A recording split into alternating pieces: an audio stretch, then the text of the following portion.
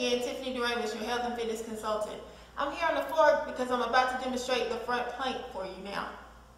I'm gonna start by laying on the floor, and you're gonna put your fist on the, press it against the ground, and lift up on your forearm and your toes, like this. You're gonna hold this position for 30 seconds. If you can't do 30 seconds at a time. Five seconds. Stop. And then go back. Five seconds again. Stop. Five seconds. This exercise is good for the core, upper body, shoulder, back.